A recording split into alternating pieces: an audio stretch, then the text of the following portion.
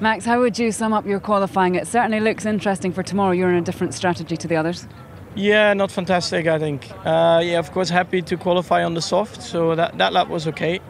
But then from there onwards, I think it was just very difficult. Uh, Q3 run one was okay, uh, was just building up to it, but then uh, the last one was was pretty good. But then arriving to the last corner, before that they told me a, a switch change and that didn't work at all. So um, yeah, not ideal. Sure, you're hoping to be uh, Mercedes' biggest pain tomorrow. What is the key to making that strategy work? Is it getting away at the start?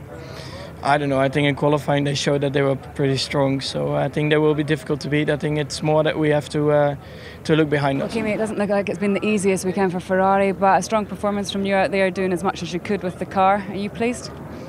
Well, we can never be pleased where we are, um, and, uh, and the time difference to the front, and um, you know, the handling wise today it's not been bad at all. Obviously, there's a few places here and there, small small issues that we would like to fix, but there's nothing major, and it doesn't explain why we are so so far behind. But um, like I said, we just need to be faster around the uh, lap. Uh, but you know, we did what we could, but obviously far from ideal.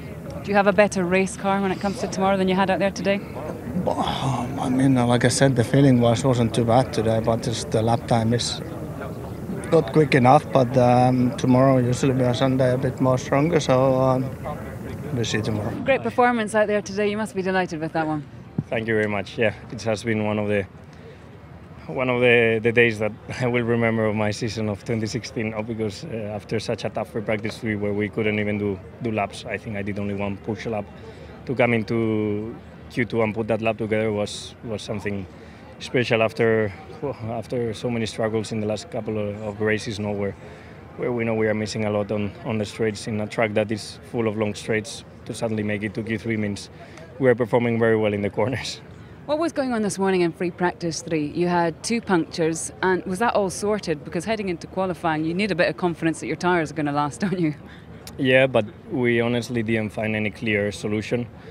We just went to quali more or less praying that it was going to be uh, not the problem anymore, and luckily it happened that way. But now that without the pressure of the quali, we will analyze everything more calmly, and I'm sure we will find maybe not exactly the problem, but uh, a combination of things.